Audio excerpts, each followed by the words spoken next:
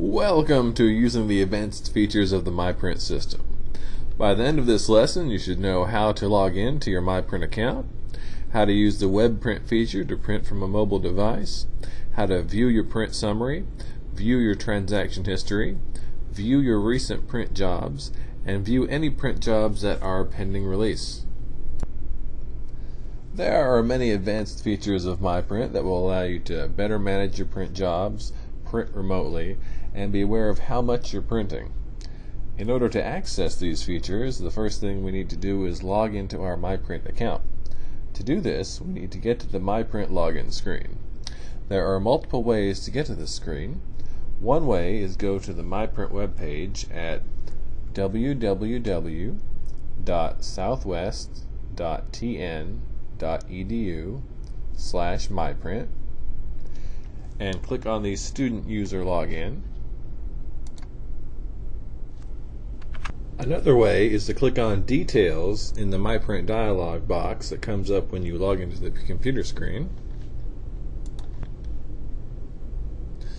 And additionally, you can get to the MyPrint website by clicking on the MyPrint website in the dialog box as well. Once we are on this login page, we can use our normal Southwest login to get into our MyPrint account. I will type mine in, F Matthews, and then my password. Click login. The first thing that we see is our print summary. It tells us our username, our print balance, our total printing jobs, and the total number of pages we printed. The next thing we see is our activity graph. If you've spent your print balance, it'll show that go down as you've printed print jobs. And at the bottom, there are some interesting facts about how much our printing for the semester has affected the environment. If we click on Transaction History in the upper left, we will now see a list of our MyPrint transactions sorted by date. If we click on any of the headings, such as Transacted By or Amount, we can sort the list according to these parameters. This allows you to see when you added funds to your account and how much was added. If we click on the next option, Recent Print Jobs, it will give us a similar chart that tells us the date a job was printed, who the job was charged to, what printer the job was printed from, how many pages the job was, what the cost was for the job, the name of the document, the printer settings, and the status of the print job. Like the last page, we can sort the list according to any of these attributes by clicking on one of them at the top. For example, if we wanted to see the jobs with the most pages, we click on Pages, and it'll sort the jobs according to how many pages each job contained. If we click on Jobs Pending Release, we can see if there are any print jobs that we told a program on the computer to print, but we've not yet hit the OK button on the MyPrint dialog box, which asks us to confirm each print job before it goes to the printer. We have the option to either release all, which will send them all to the printer, or cancel all, which will cancel all pending print jobs. We can also refresh the page to see if there are any new print jobs that have been submitted since we opened this web page. The last feature we will explore is the web print feature. This allows you to print your document from anywhere you have an internet connection. This includes mobile devices such as laptops, tablets, or smartphones. In order to start the process, click on Submit a Job. The next screen will ask you which printer you want to print to. Click on the radio button beside the printer you wish to print your documents from. For example, if we were currently working on our laptop in the parish Library on the Union campus, we would choose the Union Avenue campus parish Library printer.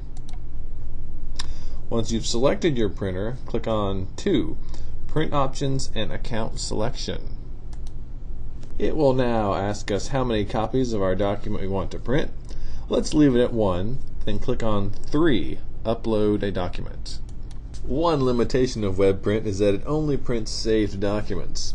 The only types of documents that you can print are Microsoft Office PowerPoint, Excel, and Word documents, Microsoft XPS documents, and PDF documents. In order to select the document we want to print, click on Choose File, and a File Open dialog box will appear. I will then browse to wherever my file is. For this example, I'm going to go to my removable flash drive and I'm going to choose research paper docx. Next, click on Upload and Complete. The system will then upload your document and send it to the printer. You will get a message say at the top of the screen that says your job was successful and the status of the job will tell you when it is finished rendering it and it has been sent to the queue for printing. And of course, if you're done with using your MyPrint account, you can click on Log Off to log out of the system. If you encounter problems printing, ask the staff in the library or at the help desk for assistance. If there are any other issues with printing or your print credit, call 333 HELP. Before we end our lesson, let's go over the key terms and phrases that we learned. Release a print job. This means you're approving a print job.